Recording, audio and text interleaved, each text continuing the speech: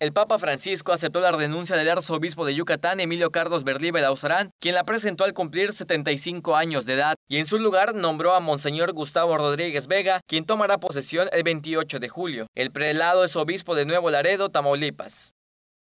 Verdi Belauzarán expresó su gratitud al pueblo cristiano de Yucatán y pidió seguir viviendo unidos a Cristo.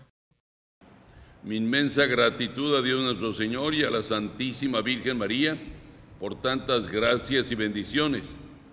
Mi gratitud a cada uno de los sacerdotes, siempre disponibles a colaborar en la construcción del reino de Dios en Yucatán, a toda la vida consagrada que no dejó de invitarnos a seguir siempre fieles a Jesucristo.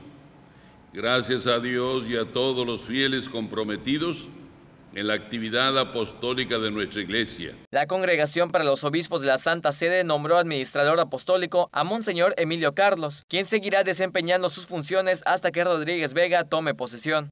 En 20 años de servicio episcopal, Verdi Belauzarán tuvo logros significativos. La ordenación de 104 sacerdotes, 39 institutos religiosos de varones y mujeres, 205 obras sociales, 1.882 directivas, con 12.666 catequistas parroquiales que atienden a 83.785 niños y niñas, entre otros.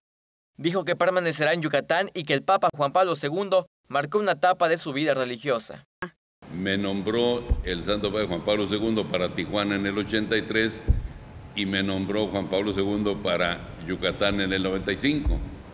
Con decirles que mi familia me había regalado este anillo, que es el escudo del Papa Juan Pablo II, y siempre lo he usado, porque resultó que los dos grandes cambios de mi vida se llevaron a cabo bajo la pues sí, en el gobierno, la presencia de Juan Pablo II. Verdi Belauzarán cierra un ciclo de servicio episcopal que inició el 29 de abril de 1995 al relevar a don Manuel Castro Ruiz.